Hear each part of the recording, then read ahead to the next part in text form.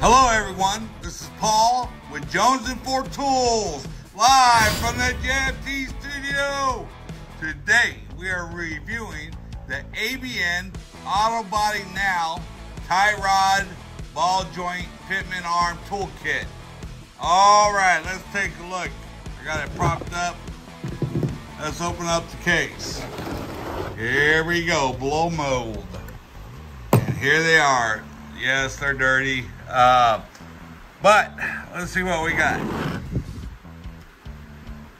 Alrighty. So here's the handle. Okay. It just screws in. Let's see. 5 16 ball joint. 11 16 tie rod. 1 and 8 pitman arm.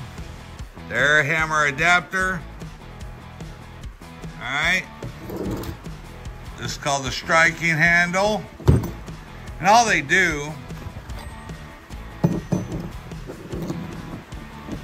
you just screw them in there and uh, uh, like on the ball joints, you get this started in there, you just hammer away and they'll slide right in.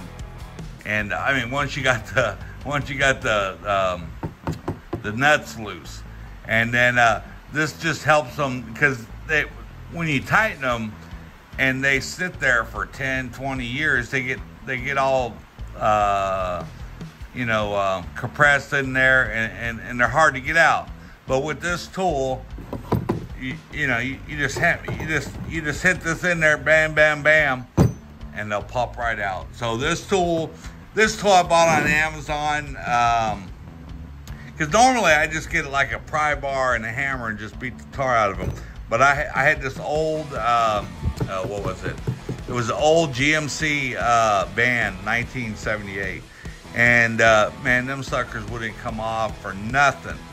And uh, so I bought this kit off Amazon. I think it was like 19 bucks. And uh, of course, it's made in China. Um, but I mean, it, it's heavy duty. You can't break this thing. Uh, if if you have ever broke one of these, leave in a comment uh, what brand and how you broke it, because I'm just curious. But uh, but they get the job done. This is just a quick review.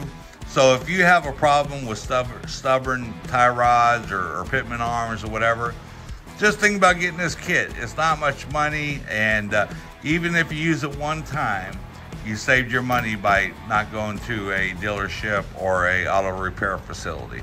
So for that reason alone, it's worth the money. But listen, uh, we thank you for tuning into this video. Thank you for supporting Jonesing for Tools. And if you like this type of content, do me a favor.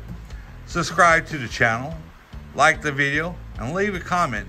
Uh, and, and, tell me what you guys think of this tool kit. But listen, uh, we appreciate you. And until next time, thank you.